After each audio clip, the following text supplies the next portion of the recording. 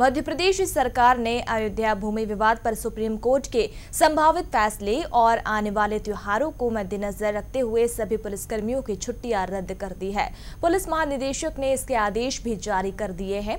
प्रदेश में माह नवंबर में पड़ने वाले प्रमुख त्योहारों और अयोध्या प्रकरण संबंधी संभावित निर्णय, सांप्रदायिक सौहार्द और कानून व्यवस्था को देखते हुए एक नवंबर से आगामी आदेश तक समस्त पुलिस अधिकारियों और कर्मचारियों के अवकाश पर प्रतिबंध प्रतिबंध लगा दिया है।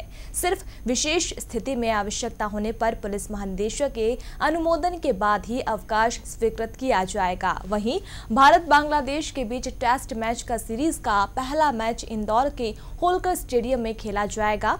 इस दौरान भी आसपास अतिरिक्त पुलिस बल की तैनाती होगी। पुलिस महानिदेशक ने सोशल मीडिया पर भी नज़र रखने के आदेश दिए हैं।